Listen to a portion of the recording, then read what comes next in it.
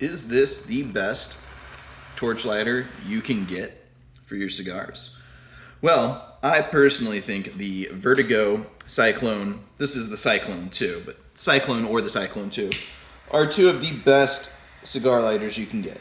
Now they are a triple torch, which a lot of people typically like their single torches, uh, but a triple torch is great because when you're outside, it's gonna light a lot easier. We're getting this Mi lit up right now.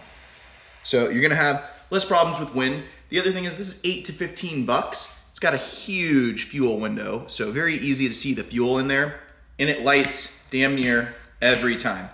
Big, big fuel wheel on the bottom makes it easy to turn it up or down. Go get one of these and just throw it in your backpack or whatever. It's good to go, baby. No, this isn't lit yet.